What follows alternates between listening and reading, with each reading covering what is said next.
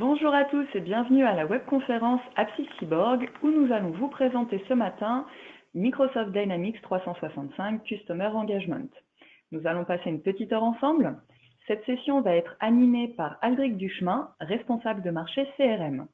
Tout au long de cette session, vous pourrez nous poser vos questions sur le bandeau qui se trouve à droite de votre écran et nous y reviendrons en fin de conférence. Bonjour Aldric. Bonjour Charlotte, bonjour à toutes et à tous. Euh, nous, allons dérouler ce, séminaire web euh, en, deux temps. D'une part, en revenant sur quelques fondamentaux sur les, solutions Microsoft et Apps Cyborg, et puis passer la majorité de notre temps sur la démonstration des produits, euh, avec un, focus tout particulier aujourd'hui quant à la mobilité et à la capacité que, que, vous offrent ces solutions à travailler de n'importe où, n'importe quand, pour que ce soit pour les équipes commerciales ou services clients. C'est aujourd'hui un enjeu majeur hein, pour l'ensemble des collaborateurs euh, bah, de savoir évidemment euh, utiliser euh, les applications de gestion quel que soit l'endroit où on se trouve. pour ce faire, rappelons quelques enjeux d'une solution CRM réussie, puisque un certain nombre de statistiques montrent que l'appréciation des, des, projets CRM peut être différente en fonction de la manière dont ils ont été déployés. une solution CRM réussie passe par plusieurs critères, et notamment celui de l'accessibilité et de l'ensemble des services qui sont amenés à utiliser cette solution que ce soit les services commerciaux, sédentaires ou itinérants, bien sûr. Pour autant, les services back-office euh, peuvent apporter une forte valeur ajoutée quant à l'usage de CRM. Les services clients euh, pour la gestion des incidents et de retour satisfaction, et bien entendu les services marketing. Euh, l'objectif principal est de ne pas se poser la question quand on est utilisateur, et lorsqu'on lance son application CRM, de savoir si elle fonctionne parce qu'on a ou qu'on n'a pas de connexion Internet. La mobilité, donc, est, un, est un enjeu essentiel, et on va, on va, passer pas mal de temps sur ce, sur ce sujet aujourd'hui tout en sachant que euh, les besoins de mobilité peuvent se traduire euh, de diverses manières, euh, notamment pour permettre aux équipes commerciales, puisque c'est le sujet qu'on va traiter en priorité, de, suivre et de piloter ses objectifs, quel que soit l'endroit où ils se trouvent, de permettre de, de, couvrir différents secteurs géographiques, puisque les applications mobiles, vous allez voir, nous permettent de, de, localiser par exemple des clients ou des prospects sur une carte pour faire des plans de tournée, euh, de présenter des catalogues produits par exemple, euh, mais également de gérer euh, des listes des tâches et des priorités et de pouvoir, qu'on soit en déplacement, dans le train, dans l'avion, à l'hôtel ou en sortant de rendez-vous, réorganiser ces rendez-vous pour dépasser ce sentiment d'être d'être débordé, de mettre à jour des dossiers clients n'importe où, faire avancer une opportunité d'affaires, mettre à jour un devis, euh, enrichir une réponse à un cahier des charges le cas échéant, quel que soit l'endroit où on se trouve, et puis de savoir communiquer à notre prospect, à nos clients, dans les différents points de vente, selon votre secteur d'activité, bah, les, bons produits, les bons tarifs, euh, pour faire des devis, mais pas seulement, hein, pour, éventuellement proposer les, bonnes promotions au bon moment. voilà, on balaye rapidement un certain nombre de fondamentaux, mais euh, une solution CRM bien organisée permet de remplir ces différents objectifs avec les principales caractéristiques suivantes, bien sûr, hein, de vous permettre de gérer vos tâches, vos objectifs et vos affaires, puisqu'en fait, l'ensemble des opportunités, des, euh, des, prévisions de vente font partie du périmètre intégral de CRM, mais pas seulement, de pouvoir suivre potentiellement les chiffres d'affaires ou marges que vous générez ou que sont générés par vos activités en lien avec l'ERP, puisqu'une solution CRM complète, c'est une solution CRM qui, euh, dans la très très grande majorité du cas, est couplée à une gestion commerciale ou à un ERP. Euh, et puis de partager surtout avec vos collaborateurs, euh, collaboratrices, les informations sur un dossier en particulier, euh, que ce soit un fichier, que ce soit des notes, que ce soit une activité que vous avez ou que vous allez réaliser. N'oubliez pas le traitement des retours clients, la satisfaction, hein, la gestion des incidents, des contrats ou des réclamations, la capacité de CRM à identifier les demandes de vos clients et à les traiter avec efficacité. L'objectif étant de piloter tout cela, évidemment, au travers de tableaux de bord interactifs. Donc, euh, voilà la théorie. La pratique, euh, bah, nous allons l'illustrer tout de suite en parlant du produit en lui-même. Alors, le produit, euh, c'est Microsoft Dynamics Customer Engagement. chez Cyborg, nous sommes spécialistes de cette solution depuis, bah, depuis qu'elle existe maintenant. Hein. donc, ça fait un peu plus de 30 ans que nous, déployons nos solutions logicielles de gestion de paye, d'ERP, de CRM. Évidemment, nous mettons en place les solutions de reporting et décisionnel associées aux solutions de gestion. Et puis, nous proposons un hébergement de l'ensemble des solutions de gestion, euh, qu'elles soient nativement hébergées par l'éditeur ou dans des clouds privés, euh, le cas échéant si, vos solutions ne permettent pas un hébergement natif. Euh, de manière transverse, nous assurons le conseil, le conseil AMOA, le conseil en aide au choix des solutions, et puis bien sûr l'intégration des solutions lorsque vous nous faites confiance, de la phase d'analyse, phase de paramétrage de développement, jusqu'aux phases de support, de support hotline et de conseil après la mise en place de la solution pour que vous ayez toujours les bonnes informations fonctionnelles, légales ou techniques selon les solutions choisies. Donc ceci, bon, bah, comme déjà rappelé depuis plus de 30 ans et, maintenant sur une quinzaine d'agences en France euh, et également à l'international, puisque euh, des agences de Londres et de, Bruxelles euh, nous permettent de rayonner à l'international sur des projets grâce à nos solutions qui sont multilangues, multidevises, des projets qui sont initiés parfois en France et qui, terminent leur déploiement international ou inversement sur les solutions Microsoft. Euh, la plateforme Microsoft, pour celles et ceux qui ne la connaissent pas, euh, je crois qu'il est bon de rappeler qu'il y a quelques années, c'était du CRM et, un ERP qui s'appelait NAV, euh, et qui aujourd'hui fait partie d'une même plateforme qui s'appelle Microsoft Dynamics 365 et qui est elle-même composée d'apps, d'applications. Ces applications sont d'un côté CRM, ce qu'on appelle Customer Engagement, de l'autre côté ERP, ce qu'on appelle Business Central. Voilà, c'est pour un peu de sémantique et de culture générale sur la plateforme Microsoft. Et puis, euh, tout ça est enrichi de verticaux sur la partie ERP. Je vous invite à regarder les webinaires euh, qui ont lieu d'ailleurs ce mois sur la partie euh, business central. Et on peut enrichir le modèle d'autres applications si certaines fonctionnalités s'avéraient manquantes sur les applications existantes et pour y rajouter du fonctionnel grâce à l'AppSource, hein, qui, est, une, plateforme qui met à disposition, qui permet de, de mettre à disposition des applications qui enrichissent le modèle de données de solutions Microsoft. Solutions euh, déjà rappelées qui sont internationales, donc traduites en, en toutes 42 langues, euh, qui sont multi-devises et qui sont disponibles sur l'ensemble des plateformes Windows, Android ou iOS, on va y revenir très largement, nativement hébergées par Microsoft, hein, une solution SaaS, euh, sur lequel bien entendu vous n'avez à vous soucier d'aucune infrastructure ou d'aucun système d'hébergement, ou disponible on-premise, donc installé sur vos propres environnements, vos propres serveurs ou des environnements privés, si pour des questions organisationnelles, techniques ou légales, euh, c'est le choix que vous préférez opérer. C'est la seule solution sur le marché qui permet les deux modes. Naturellement, euh, cela va sans dire, mais il est quand même bien de le rappeler puisque c'est natif. Euh, Microsoft Dynamics 365 est nativement intégré aux outils, alors ce qu'on appelait précédemment Microsoft Office 365, qui s'appelle Microsoft 365 aujourd'hui, qui est la suite des outils euh, composés d'Outlook, bien sûr, des outils bureautiques, Word, Excel, Outlook, des outils collaboratifs comme SharePoint ou Teams.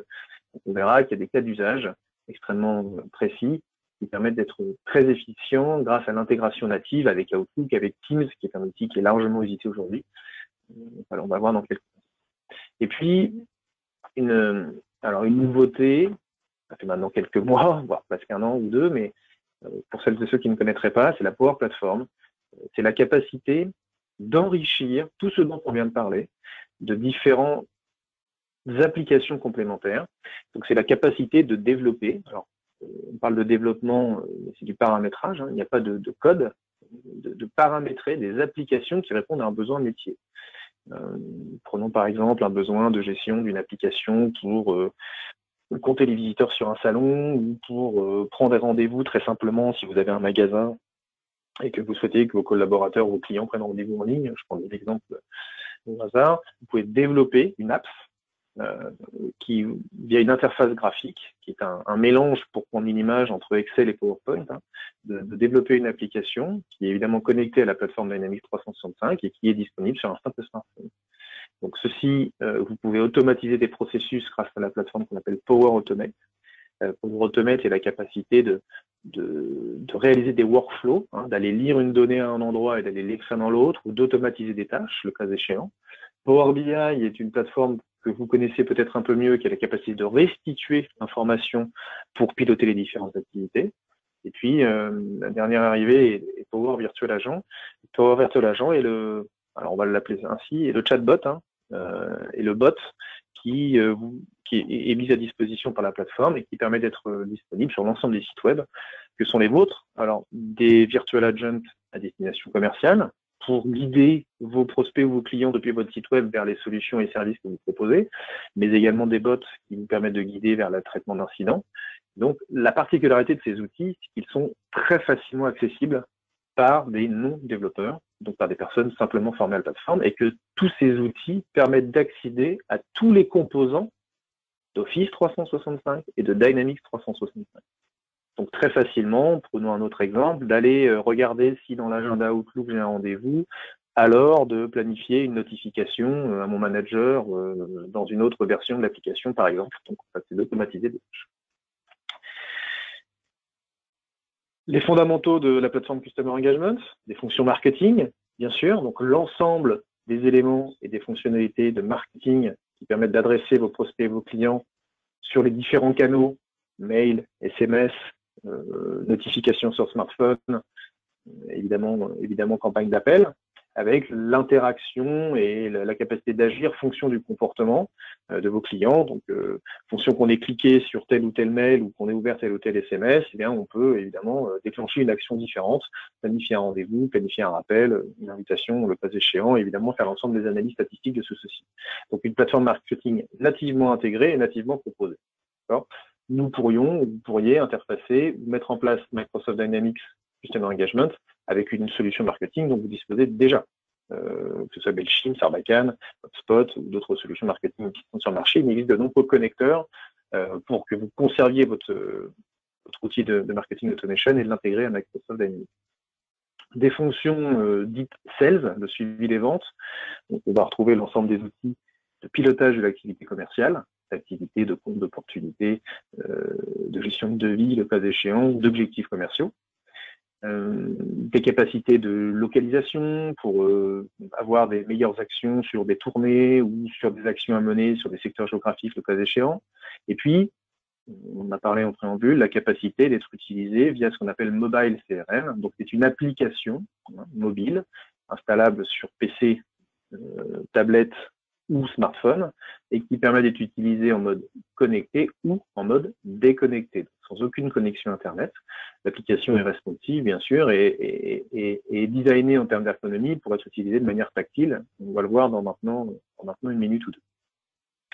Euh, avec des tableaux de bord graphiques, bien sûr, avec, là pour le coup, l'ensemble des fonctionnalités que permettent les applications aujourd'hui de marché, de localisation, d'appel, de dictée vocale, des comptes rendus de réunion, par exemple, permet facilement une application que un peu plus difficile parfois à utiliser sur, sur PC. Et les fonctions de service client, euh, donc vous avez vendu, proposé des produits, livré des produits, ben, peut-être des services, euh, peut-être que vos clients vous font des retours. Donc le traitement des retours, les incidents, les réclamations, euh, c'est la sémantique, sont traités par la partie Customer Service de Microsoft Dynamics 365 avec, selon vos métiers, une notion de contrat, une notion de SLA, une notion de base de connaissances pour équiper l'ensemble d'un service client au traitement des demandes qui sont formulées par vos, par clients par vos clients et non pas les prospects. Euh, la, la satisfaction de vos clients est un, est un élément important. Hein. On connaît tous le coût euh, d'acquisition de clients en temps passé et en coût financier. Autant faire le maximum pour qu'ils restent évidemment clients de votre entreprise. L'intégration avec les outils euh, Microsoft 365, avec Office, on a décidé ici de faire un focus sur trois principaux, SharePoint. Euh, SharePoint euh, est la plateforme de gestion documentaire de Microsoft Dynamics. Pas seulement, hein, euh, c'est également un outil de partage, c'est également une plateforme de notification, c'est également une plateforme qui permet de créer des portails d'entreprise. Euh, les fonctionnalités sont nombreuses. Euh, l'objectif de ce webinaire n'est pas de faire un détail de SharePoint, mais de présenter que les documents que vous partagez ou que vous échangez au sein, par exemple, de CRM sur une opportunité ou sur un compte sont stockés évidemment dans CRM, mais dans SharePoint. Et donc accessibles par l'ensemble des collaborateurs de l'entreprise qui, pour autant, n'utilisent pas mais utilise SharePoint pour faire la gestion documentaire.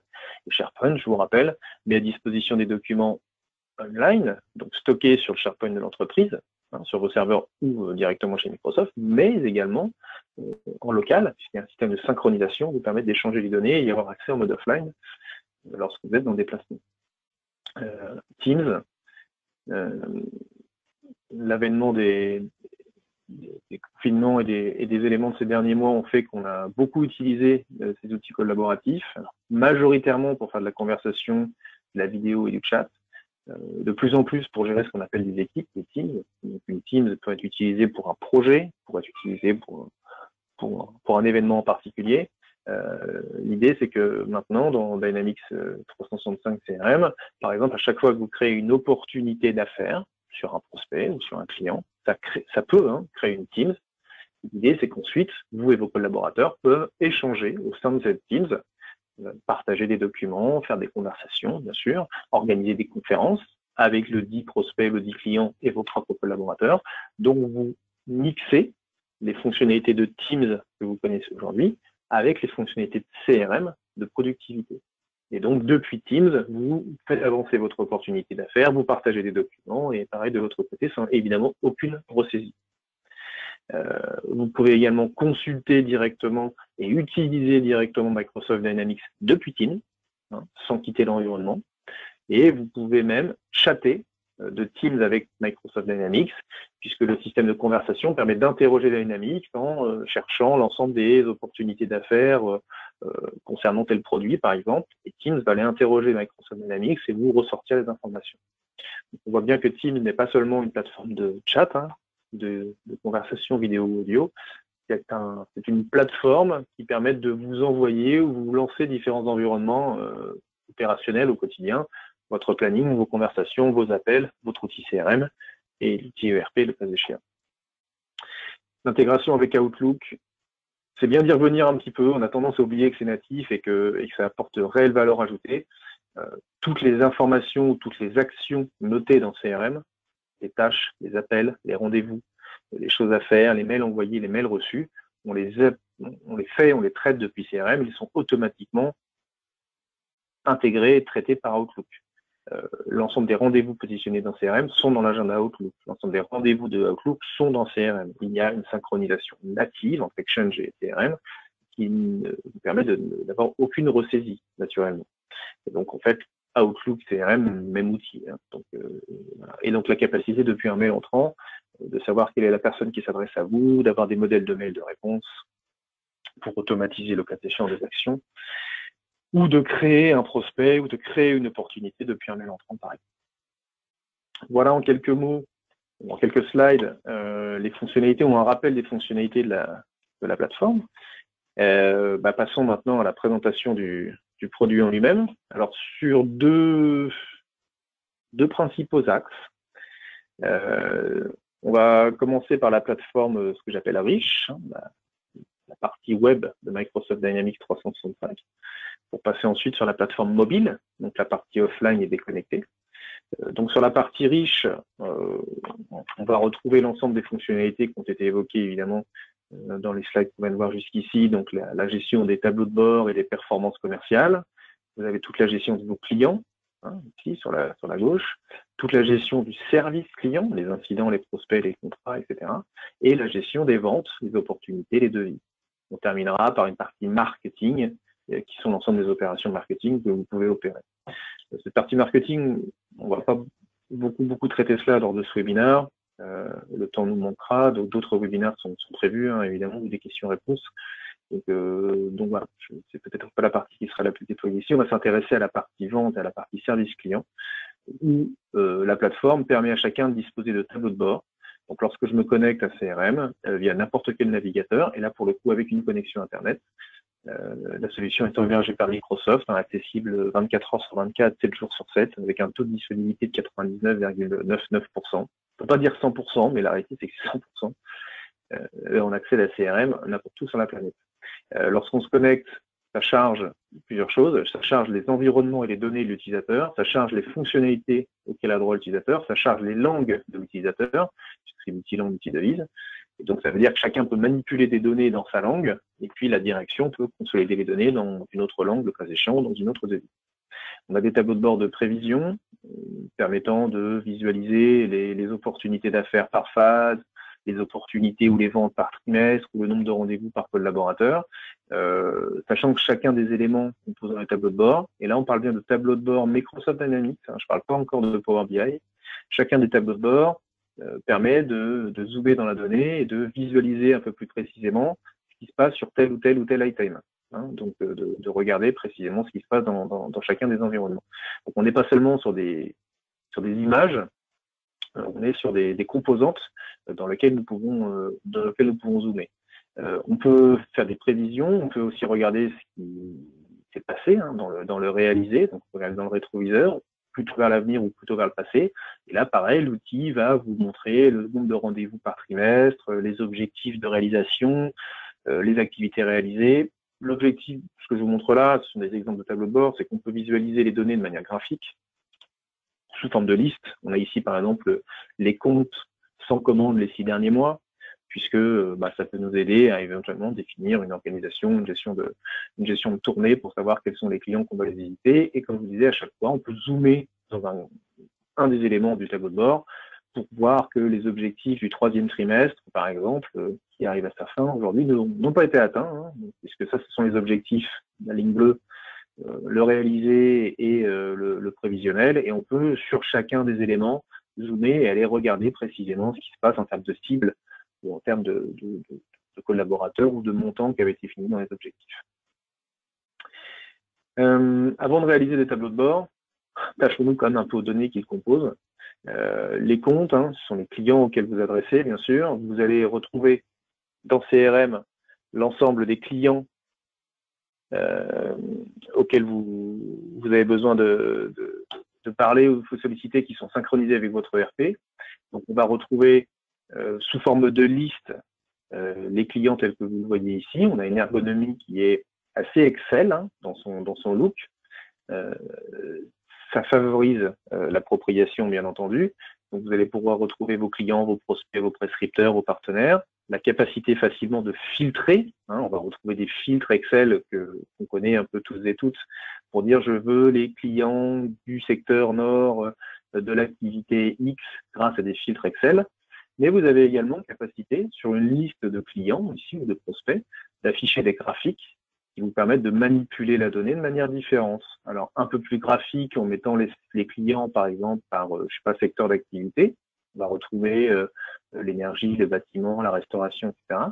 Et lorsqu'on veut zoomer sur, je sais pas, les, les clients qui sont dans l'énergie et l'eau, le simple clic sur la partie histogramme correspondante permet de filtrer les éléments pour, par exemple, mener une action.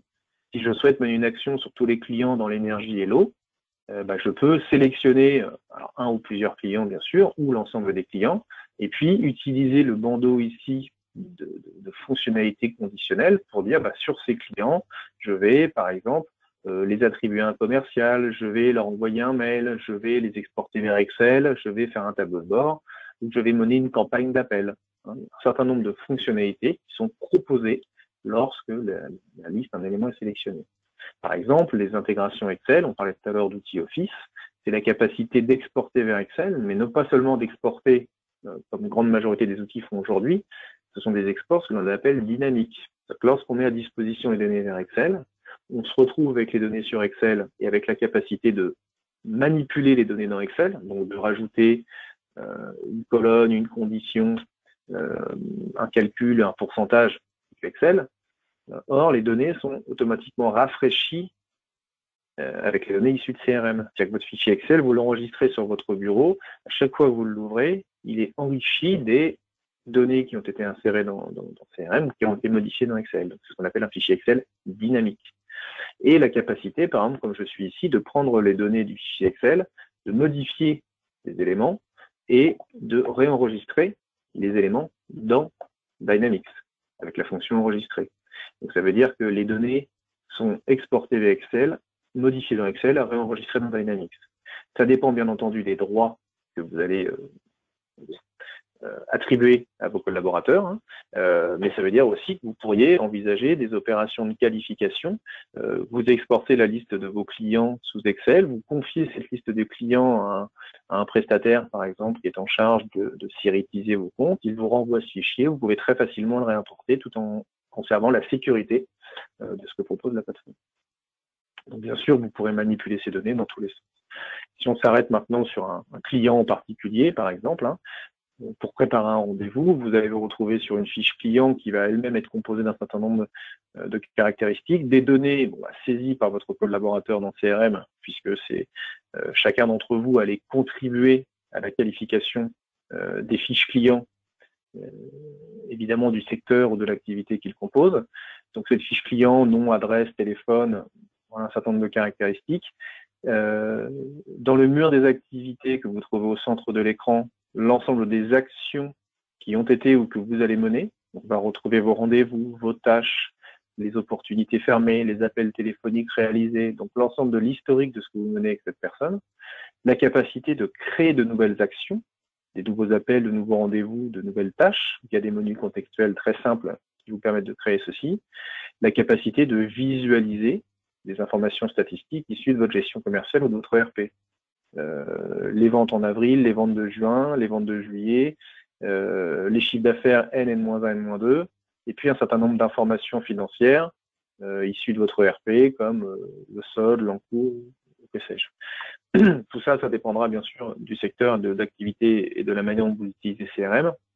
La capacité d'utiliser et d'avoir plusieurs contacts évidemment associés à ce compte et de pouvoir visualiser de manière graphique les différents interlocuteurs euh, de la société sous forme d'organigramme pour que vous puissiez décider euh, bah, de, qui décide de la personne que vous souhaitez adresser en fonction de l'action que vous menez. Hein. On ne rencontre pas la même personne euh, pour la signature d'un contrat ou pour traiter les dysfonctionnements qui éventuellement ont été remontés. la gestion de l'ensemble des opportunités d'affaires étant la capacité de visualiser l'ensemble du business prévisionnel qui ont été identifiés par vos collaborateurs. Alors, on peut parler d'opportunités, on peut parler de devis, ça dépend des entreprises. Euh, une opportunité euh, comme le, projet d'équipement d'un nouveau siège est souvent plus, macro. Hein. On va identifier une opportunité avec une phase de vente, euh, avec des éléments assez, assez macro pour, pour déterminer quel est le potentiel de l'opportunité, la phase de closing, le trimestre, la probabilité de réussite. Et puis, vous voyez un bandeau rouge en haut qui vous permet d'avoir des phases de qualification avec des sous-questions, des phases de développement, une phase de construction de l'offre, une phase de closing. Donc ça, c'est ce qu'on appelle un processus de vente. Ce processus de vente est bien sûr entièrement personnalisable hein, et permet à vos collaborateurs d'engager un, processus jusqu'à son closing, jusqu'à la perte ou le gain de l'opportunité, bien sûr. Et puis de cette opportunité, on va pouvoir réaliser un devis avec des lignes de produits, des lignes d'articles issues euh, de votre ERP. Euh, Microsoft Dynamics Business Central, le ERP de Microsoft, est nativement intégré à, Dynamics Customer Engagement. Donc, ça veut dire que l'ensemble des produits, des tarifications que vous avez euh, réalisées dans, Business Central sont disponibles dans CRM pour que dans CRM, on puisse réaliser des devis et que ce devis puisse être transformé en commande euh, directement dans le RP. Bien sûr, grâce à cela, vous saurez piloter l'ensemble des opportunités d'affaires de votre secteur ou de l'entreprise en particulier, sous forme de liste, euh, sous forme de tableau de bord, alors, ce qu'on appelle de Kanban, par exemple, c'est la capacité de visualiser l'ensemble des opportunités d'affaires par processus de vente et de, lorsque vous faites des revues d'affaires, de voir toutes les affaires en phase de qualification, de développement, de construction d'offres ou de closing. Euh, on voit évidemment les montants cumulés des différentes phases et puis, bah, alors, euh, si vous passez d'une affaire en phase de développement, en phase de construction d'offres, un qui est déplacé vous permet de, changer, évidemment, le processus euh, de l'affaire sur lequel vous êtes en train de travailler. La visualisation peut être ainsi, la visualisation peut être aussi plus, graphique puisque vous avez des tableaux de bord associés aux opportunités euh, qui permet à chacun des collaborateurs ou aux managers commerciaux bah, de piloter le business. Euh, on va retrouver les opportunités ouvertes, les opportunités fermées, on va retrouver un mode vignette euh, ou un mode visuel ici qui vous permettent d'avoir en un coup d'œil la liste des opportunités ouvertes, fermées, en cours, les meilleurs clients, euh, le niveau d'intérêt ou éventuellement les phases. Bon voilà, vous voyez qu'à chacun des, endroits, euh, Microsoft vous permet de, visualiser ou de piloter ces, éléments de manière, graphique. Euh, vous avez ceci sur les opportunités. On va retrouver évidemment le même fonctionnement sur les comptes, les contacts, une gestion de concurrents hein, qui vous permet de faire ceci, et puis une gestion d'incidents. dès lors que vous avez livré ou mis en place vos produits, on en parlait en préambule, vous allez peut-être pouvoir traiter les retours euh, de vos clients, que ce soit des problèmes de livraison, euh, des, erreurs de livraison ou de facturation, une mauvaise facture ou des arrêts euh, aléatoires de fonctionnement si vous vendez des produits ou des services.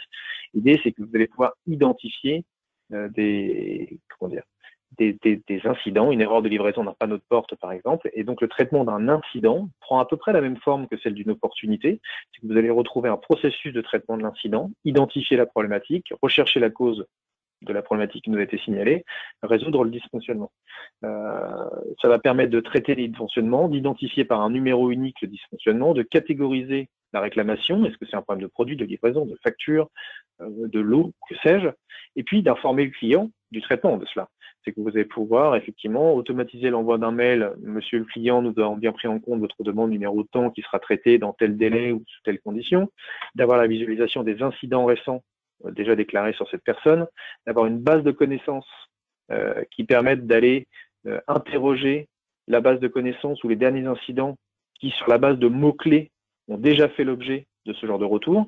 Donc là, l'idée, c'est d'aider un collaborateur qui a des demandes qui lui sont remontées à traiter ça de manière plus efficiente, soit via une base de connaissances qui est structurée, organisée par votre entreprise, soit en allant rechercher dans les incidents récents, et pour pouvoir très rapidement bah, envoyer le lien à notre client pour une résolution de, l'incident qui a été signalé. Donc bien sûr, la capacité de manipuler et de traiter l'ensemble des incidents, de la même sorte que ce que je vous ai montré sur les opportunités d'affaires, hein, avec des tableaux de bord d'incidents pour visualiser quels sont les incidents en cours, les incidents traités sur une période restante à traiter, euh, avec des taux ou des moyennes de résolution. Donc voilà, on balaye forcément un peu rapidement, mais les fonctionnalités de gestion de compte, de clients, de leads, la gestion d'opportunités, hein, de, devis, que je vais balayer rapidement. Euh, CRM vous permettra d'afficher les commandes, voire les factures mises à disposition par le RP. Euh, tout ceci dans un, dans un environnement unique. Donc nativement couplé à Outlook, on en a parlé, ce qui permet lorsque vous recevez dans Outlook des mails de visualiser quand une personne vous sollicite à propos d'un produit ou d'un service, de visualiser la personne qui s'adresse à vous, puisqu'on a une recherche intelligente via l'adresse email ou via différents critères de la personne qui vous envoie le mail. Donc Microsoft Dynamics 365 affichera dans le, dans le bandeau, dans ce qu'on appelle l'app Dynamics 365, le profil euh, de la personne qui, vous a sollicité, les dernières actions que vous avez menées avec cette personne, vous envoyez un peu l'historique sans quitter Outlook bien sûr, et puis vous offre la possibilité de créer euh, le cas échéant, un nouvel incident, une nouvelle opportunité. Euh, là, ici, si on sollicite, sollicite mettons que je vende des portes euh, sur les, ma nouvelle porte en aluminium, eh ben, je peux directement créer une opportunité d'affaires de porte en aluminium pour le responsable des achats de la société X. Voilà une des, des, intégrations natives qui permettent de facilement traiter les retours. on parlait tout à l'heure de Teams. Teams que vous pouvez utiliser également au sein de votre entreprise pour, je le disais, de la communication euh, mais également pour une gestion d'équipe.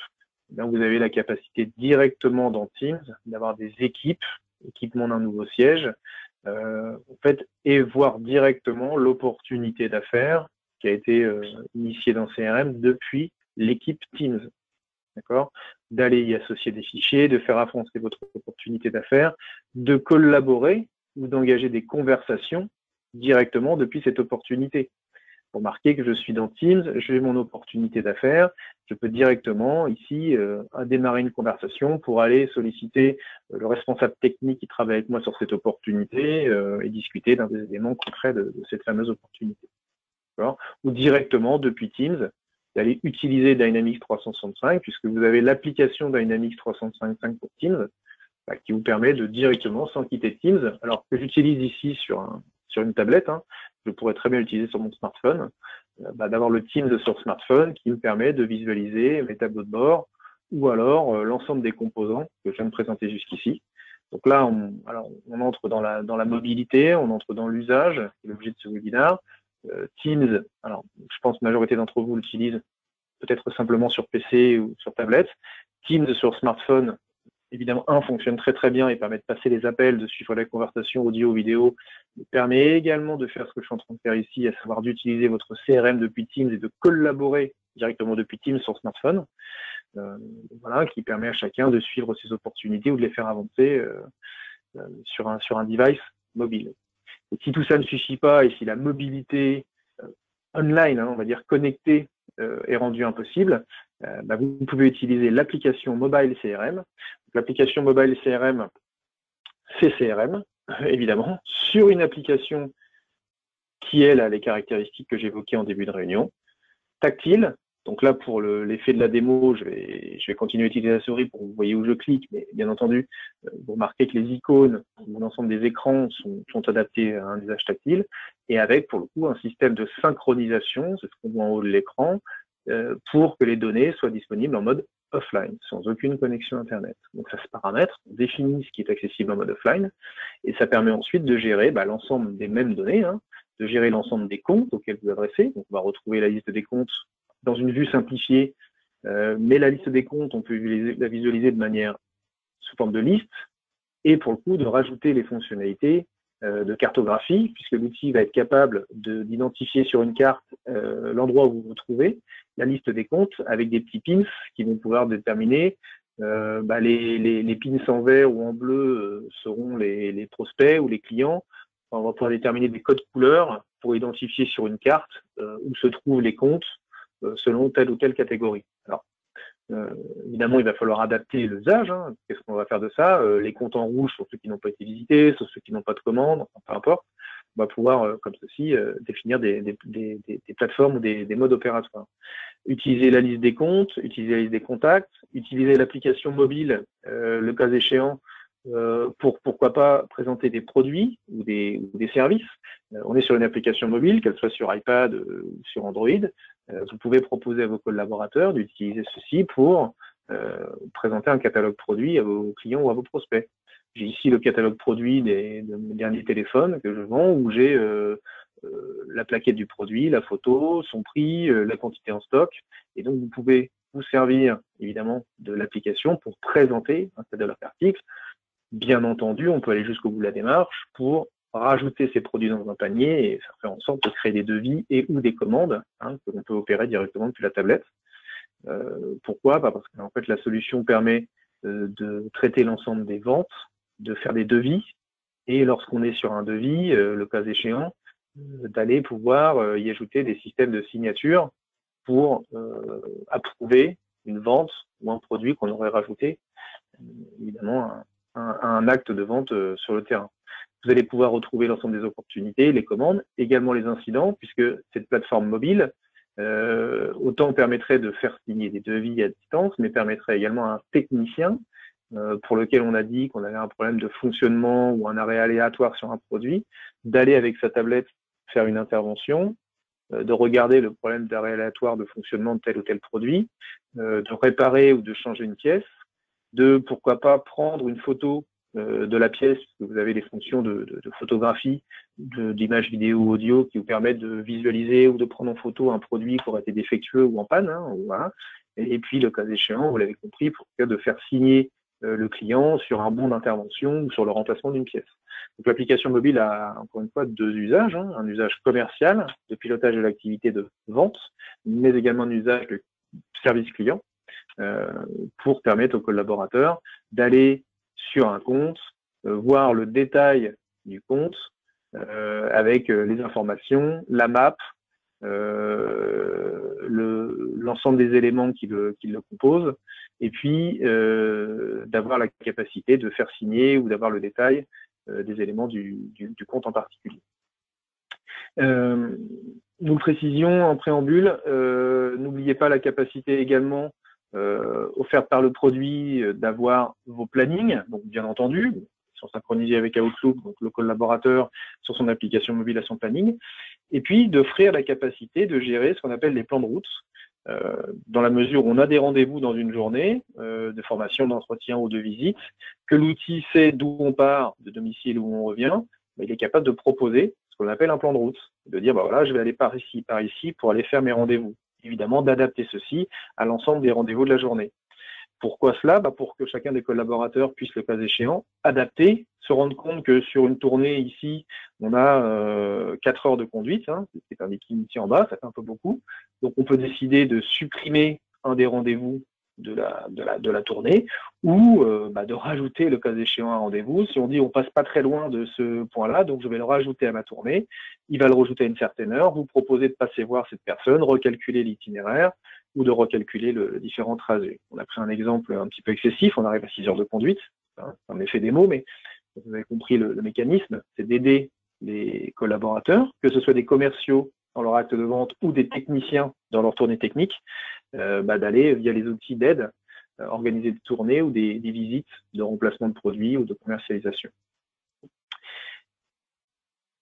L'outil est disponible sur un PC, sur une tablette Surface telle que je l'utilise aujourd'hui, sur un smartphone. La particularité, c'est que ça permet du coup d'appeler directement. Donc ici, ça va utiliser un, Teams ou un Skype. Si c'est sur un téléphone, ça permet directement d'utiliser le téléphone. Euh, L'idée, c'est qu'à chaque fois qu'on a passé un appel ou que l'on termine un appel, l'outil propose automatiquement, dès lors que c'est terminé, un compte-rendu de l'appel. Donc, il va calculer le temps de l'appel, il va attendre une description de l'appel, et puis vous allez pouvoir dicter, si on est sur un smartphone, le compte-rendu de l'appel téléphonique. C'est des outils très adaptés, évidemment, à l'usage mobile. C'est synchronisé automatiquement, l'utilisateur ne s'occupe de rien, ça renvoie les données à CRM, et ça veut dire que qu'on soit sur un iPhone, sur le terrain, ou sur un Android, ou sur une tablette, euh, que sais-je, on modifie l'ensemble des données contenues dans l'application mobile, on retrouve automatiquement les données dans la plateforme dite riche de CRM instantanément pour que, par exemple, des collaborateurs à moi qui sont sédentaires puissent traiter euh, un devis à réaliser ou euh, une, opération, une opération commerciale de pas Voilà, nous avons, euh, dans les temps impartis, balayé pas mal de sujets. ça peut nécessiter évidemment des compléments d'information, une séquence de questions-réponses va être ouverte dans quelques instants, après un petit sondage ou euh, lors de rendez-vous privés qu'on aurait le plaisir de mener ensemble. Euh, S'il y a deux choses à retenir de cette, présentation, c'est utiliser CRM n'importe où, n'importe quand. On a de la connexion Internet, on est euh, quelque part sur le territoire ou dans le monde, on utilise CRM. On n'a pas de connexion Internet parce qu'on a un usage particulier, on a besoin d'un mode offline et très actif, on utilise l'application mobile qui permet de faire ceci, que ce soit pour les services commerciaux ou que pour les services clients. Donc avant de passer à la phase de questions-réponses, euh, nous allons euh, recueillir quelques avis. Merci Aldric pour cette présentation.